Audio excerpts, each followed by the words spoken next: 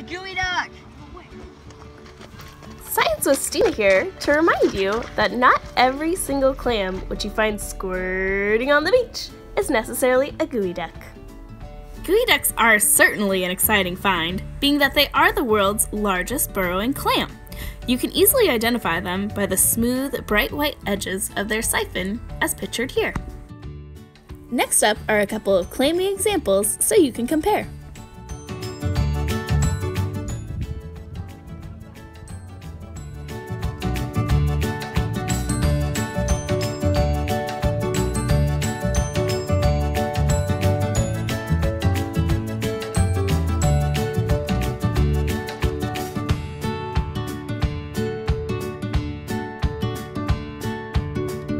Next time you're at the beach and you see that squirting clam, take a look and see if you can find the smooth, bright white siphon of the geoduck. This one here is a pitted clam. Oh guys, I found a clam! I wonder what type of species it is! Let's look at its characteristics. Find out.